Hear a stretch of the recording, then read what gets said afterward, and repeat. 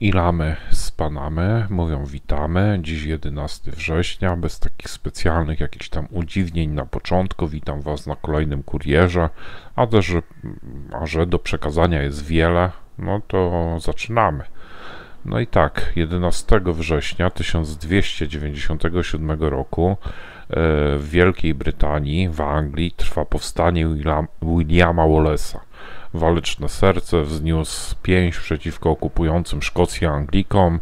No i podczas tego 11 września 1297 roku doszło do pierwszego zwycięstwa e, wojsk szkockich, szkockich powstańców w bitwie o most Sterling.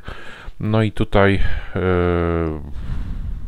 żeby za bardzo nie wdawać się w szczegóły bitwy, bo ona była też ciekawa, ale to zostawiam waszej inicjatywie.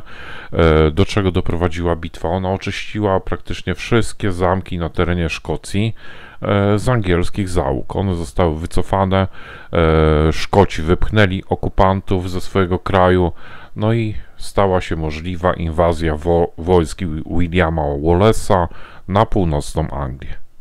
Także to była cena, jaką Anglicy zapłacili za przegraną w bitwie o most Sterling. 11 września 1609 roku Henry Hudson odkrył wyspę Manhattan. E, Henry Hudson to ten pan, który zaginął gdzieś tam na morzu, wcześniej odkrywszy zatokę Hudsona, to znaczy on chyba nie odkrył zatoki Hudsona, ale na jego część ją tak nazwano. E, w każdym razie bardzo zasłużona osoba, jeżeli chodzi o odkrycia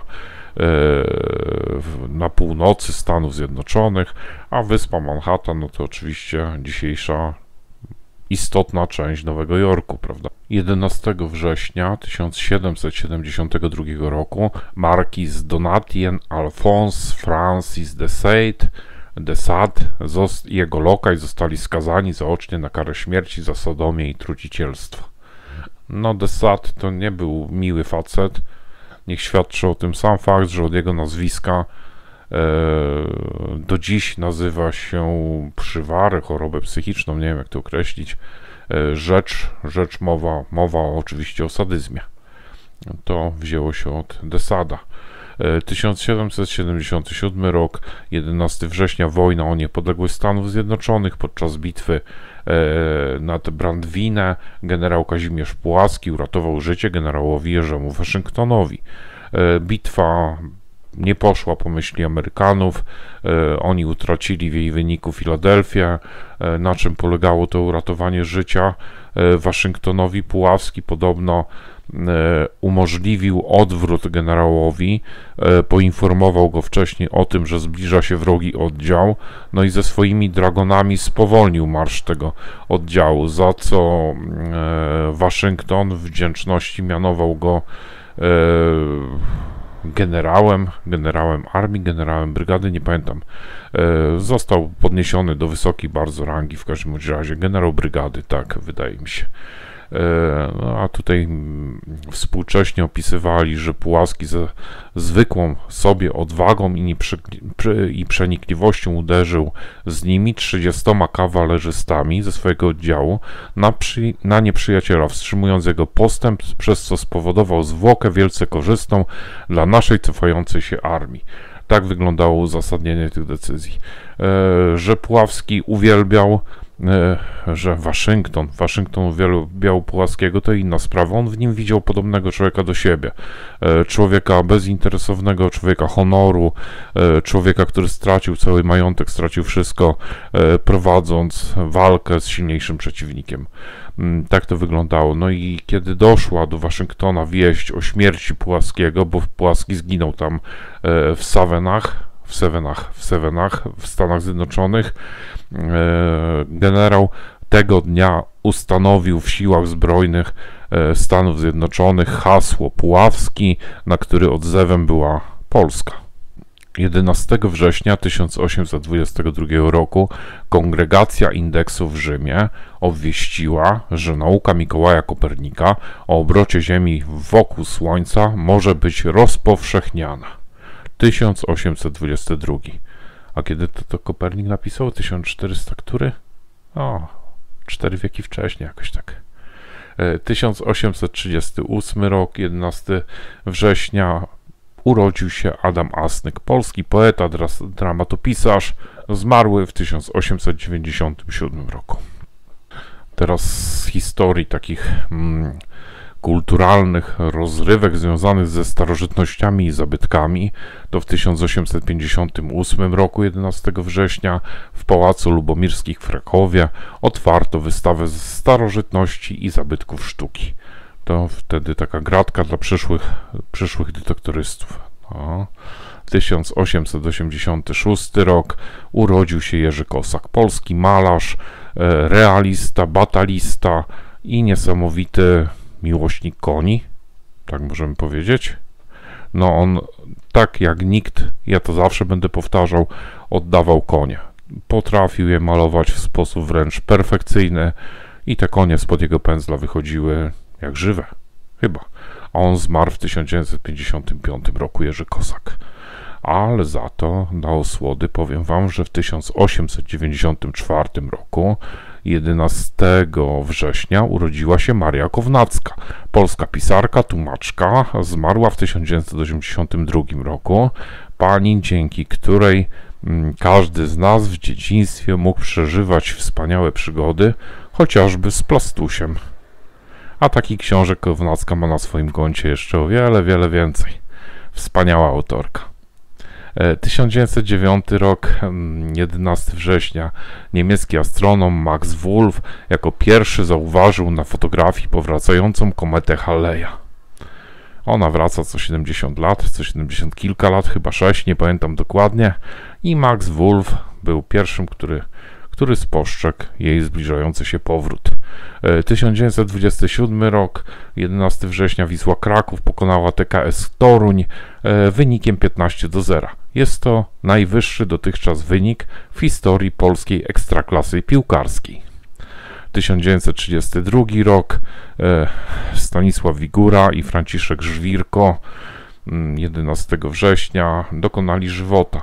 Oni zginęli obaj e, w katastrofie na Śląsku Cieszyńskim.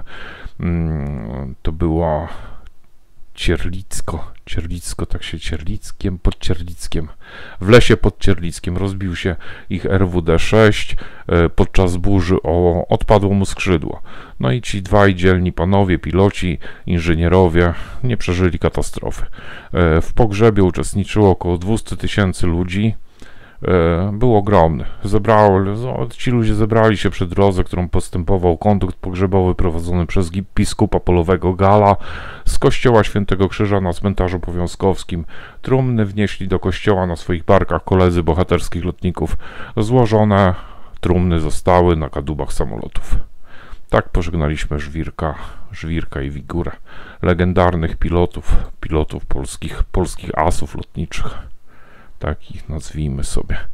1974 rok, premiera pierwszego odcinka amerykańskiego serialu telewizyjnego Domek na Prairie. Opowieści o rodzinie, oni się chyba nazywali. Ojej, ja nie pamiętam. To była w każdym razie luźna adaptacja książki e, pod tytułem Domek, e, książki Laury Igals E, Igals Wider e, i tutaj e, opowieść dotyczy życia na prerii rodziny amerykańskich pionierów.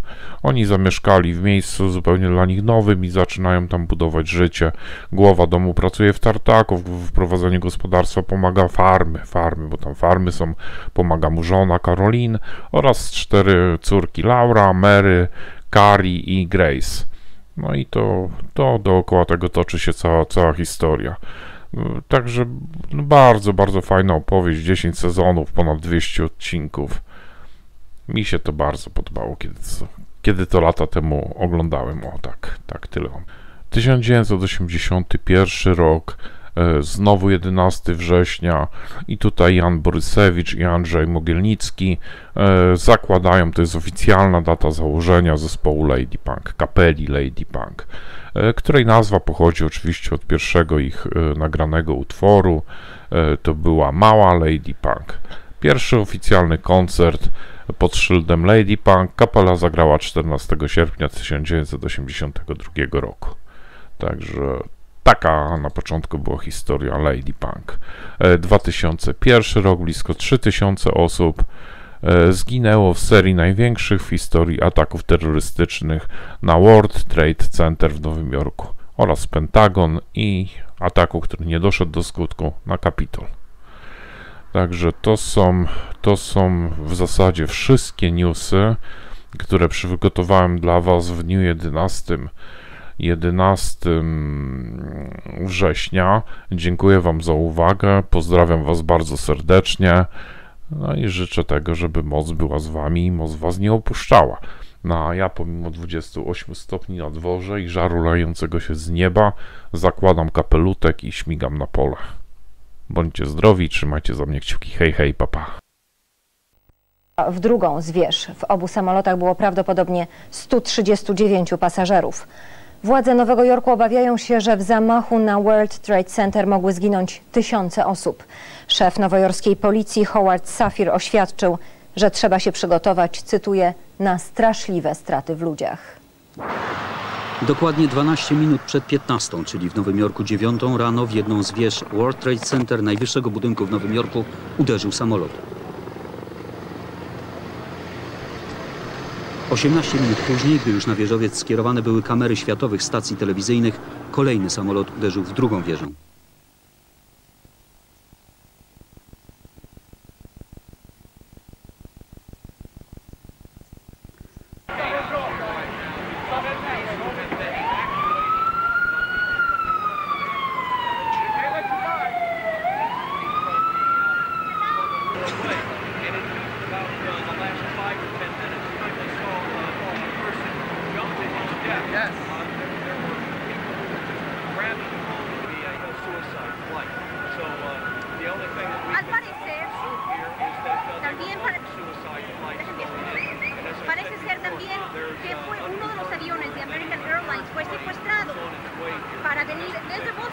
Na południu Manhattanu zapanowało panoptikum. Świadkowie mówili o ludziach wyskakujących z okien i ciałach spadających z wieżowca. Przez wąskie uliczki dzielnicy biznesu z trudem mogły się przecisnąć samochody służb ratunkowych. Byłem na 36. piętrze pierwszego budynku. To stało się nagle, jak trzęsienie ziemi, szok. Budynek się zatrząsł, byłem blisko okna i widziałem, jak jego elementy leciały na dół. Staliśmy w pobliżu, zobaczyliśmy wielki pożar i ludzi wypadających przez okna. To było okropne.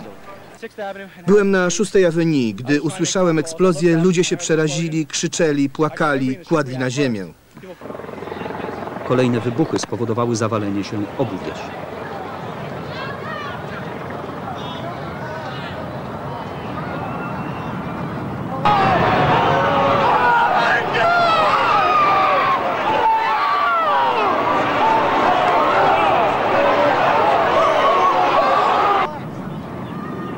Razie wciąż nikt nie zna liczby ofiar. Wiadomo tylko, że w World Trade Center pracuje 50 tysięcy ludzi. Nowojorska giełda wstrzymała operację i zamarł finansowy krwiobieg Ameryki. Szpitale w Nowym Jorku są przepełnione. Prezydent Bush, który był na Florydzie, podjął natychmiastową decyzję o powrocie do Waszyngtonu i zwołaniu gabinetu i Rady Bezpieczeństwa. Było już jasne, że Ameryka stała się ofiarą niespotykanego dotąd masowego ataku terrorystycznego. Terroryzm przeciwko naszemu narodowi nie przejdzie. Uczcijmy minutą ciszy pamięć ofiar.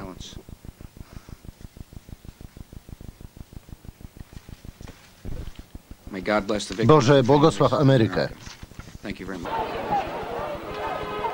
Burmistrz Nowego Jorku, Rudy Giuliani, zarządził ewakuację całego południowego Manhattanu. Wkrótce zaczęły przychodzić kolejne wiadomości. Drugi z samolotów, który uderzył w World Trade Center, okazał się porwanym z Bostonu Boeingiem 767 American Airlines. Pierwszy, jak się przypuszcza, był mniejszym samolotem. Być może była to Cessna. Łączymy się z Nowym Jorkiem, gdzie jest Mariusz Max Kolonko. Dobry wieczór. Dobry wieczór, witam. Mariusz, co w tej chwili dzieje się w Nowym Jorku? E, Tu w punkcie zero, w którym jestem, istnieje po prostu war zone, jak mówią Amerykanie, jest jak na pierwszej linii frontu. Na Manhattanie nie ma czym oddychać, kłęby dymu. Na szczęście wiatr dmucha to wszystko w kierunku wyspy Staten Island. Nikt nawet nie próbuje policzyć, ilu ludzi zginęło. Widziano ludzi skakających z okien płonących budynków.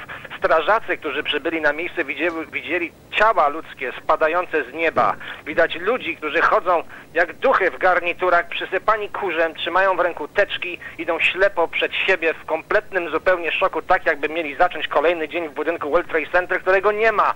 Ten wspaniały symbol miasta, 111-piętrowe wieże, w chwili kiedy mówię te słowa, po prostu nie istnieją. Zostały po nich dymiące zgliszcza, grzebiąc ludzi, którzy byli w środku, którzy nie zdążyli się ewakuować. Jak powiedziałaś, ponad 50 tysięcy ludzi pracuje w tych budynkach, są tam setki biznesów z 50 krajów, w tym także z Polski. Wstępne raporty mówią, że w obu budynkach w momencie wybuchu eksplozji około 8.45 znajdowało się tam około 10 tysięcy ludzi. Strażacy i służby medyczne mają kłopoty z dotarciem do tego, co pozostało z obu wież. Ewakuowano całe południe miasta, zamknięto giełdę, zamknięto metro, zamknięto tunele, zamknięto lotniska. W Waszyngtonie ewakuowano wszystkie budynki rządowe, zamknięto Biały Dom, Kapitol, Departament Stanu, e, zwłaszcza po tym e, zamknięto budynek Pentagonu, zwłaszcza po tym, jak e, otrzymaliśmy raport, że samolot uderzył w gmach Pentagonu, 22 osoby giną tam. Wszystkie budynki rządowe na wschodnim wybrzeżu po dwóch godzinach od eksplozji, od Maryland po Nowy Jork są zamknięte. W pobliżu mnie znajduje się lotnisko LaGuardia. Często słychać latające, lądujące tam samoloty. Teraz jest przeraźliwie cicho. Lotnisko zostało zamknięte. Federal Aviation Administration, e, czyli Federalna Rządowa Agencja e, do Spraw Lotnictwa, wydaje decyzję o zamknięciu wszystkich lotnisk w Ameryce. Ruch lotniczy kierowany jest do Kanady. Teraz dowiadujemy się, że zamknięto także lotniska w Kanadzie, a więc dwie godziny po pierwszej eksplozji ruch lotniczy nad północną Ameryką po prostu przestaje istnieć. Zezwolono jedy- jedynie na lądowanie e, 22 maszyn międzynarodowych, które znajdowały się w powietrzu. W tej chwili ja spoglądam na ekrany e, telewizorów i spoglądam tu za okno, widzę przelatujące samoloty wojskowe F-18, które patrolują powietrze nad Manhattanem. To jest po prostu, Jolu, obrazek nie do pomyślenia. To jest wojna nad Manhattanem.